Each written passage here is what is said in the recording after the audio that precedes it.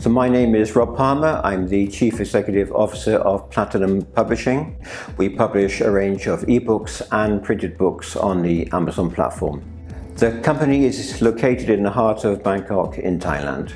The business was established in Thailand in 2012. Our vision is to market a range of books that provide quality information and advice to help people transform their lives. We have a virtual team of writers, designers and marketers who need to be paid on time every week, so having good cash flow is vital to the success of our business. We publish in the English language, so the majority of our customers are based in the US and UK, but we do have customers in over 200 countries. We have a significant six-figure business and is growing at a fast rate. Amazon is unable to pay funds directly into a Thai bank account, so we were being paid by check.